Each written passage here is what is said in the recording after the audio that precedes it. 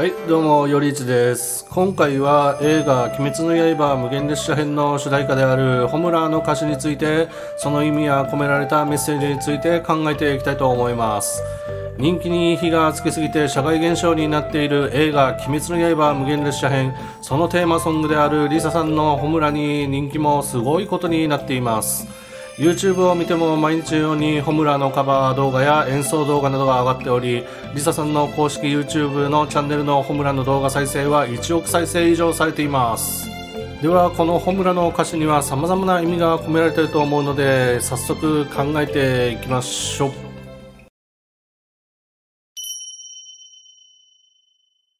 劇場版鬼滅の刃無限列車編エンディングテーマとなっているホムラはホムラとなっています。実はホムラは別の漢字でホムラとも書けます。このホムラについて調べたところ次のような意味があるようです。炎火炎心の中に起こる燃え立つような激しい感情を例えて言うこともあるとなっています。燃え立つような激しい感情というところが煉獄さんそのものを表しているようなタイトルですね。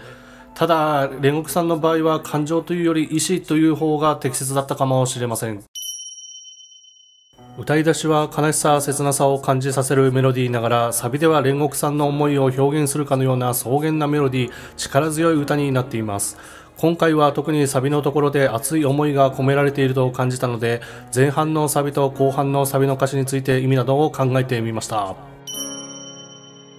最初のサビの部分は次のような歌詞です。僕たちは燃え盛る旅の途中で出会い手を取り添って話した未来のために夢が一つ叶うたびに僕は君を思うだろう。強くなりたいと願い泣いた決意を花向けにとなっています。最初のこの歌詞の部分ここは炭治郎たちが煉獄さんそのものを歌っているのかなと思いました。続いて僕たちは燃え盛る旅の途中で出会い手を取りそして話した未来のために。燃え盛る旅とは鬼との戦いの日々無限列車を襲う縁夢に対して煉獄さんと手を取り戦い上限のさん赤沢との戦いで去ってしまった煉獄さんその煉獄さんから未来を託されたという歌詞に感じました。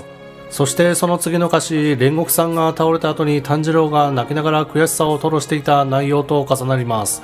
夢が一つ叶うたびに僕は君を思うだろう。強くなりたいと願い泣いた決意を花向けに。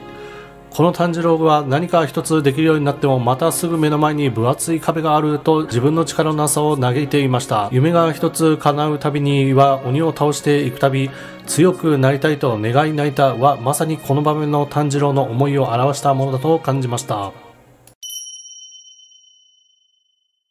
最後のサビの部分は次のような歌詞です。手を伸ばし抱き留めた激しい光の束輝いて消えてった未来のために託された幸せと約束を超えていく。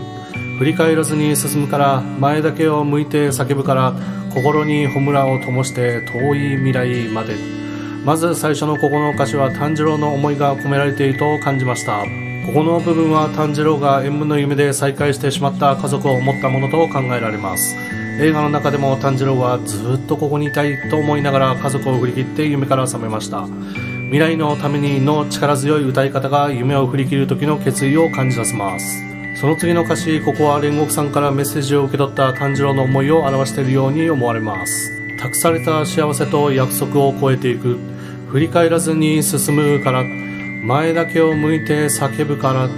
心に炎を灯して遠い未来まで。託された幸せと約束を超えていくは煉獄さんから父進次郎と弟千次郎への遺言。また炭治郎たちに残した君たちが鬼殺隊を支える柱になるんだという言葉を表しているように思います。そして振り返らずに進む前だけを向いて叫ぶは映画の中で伊之助が炭治郎に叫ぶセリフにもつながります。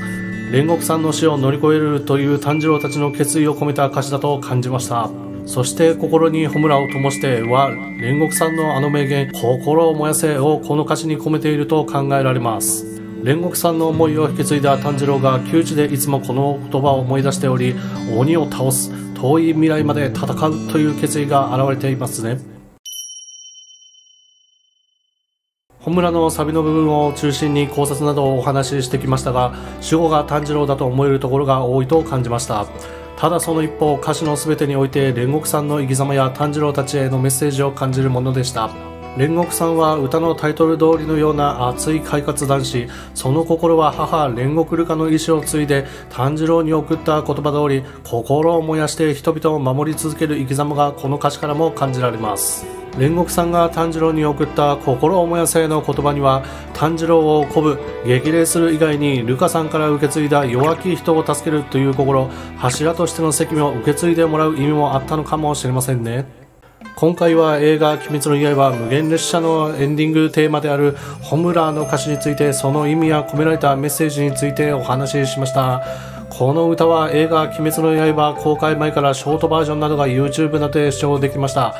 映画を見る前なのに歌詞だけで泣いた。こんなの映画中に流されたら涙で画面が見えなくなるなどの声が SN 上で上がっていました。映画はもちろん素晴らしいものでしたが、リサさんの歌唱力があってこその鬼滅の刃だと改めて感じました。ではまた次の動画でお会いしましょう。じゃあね。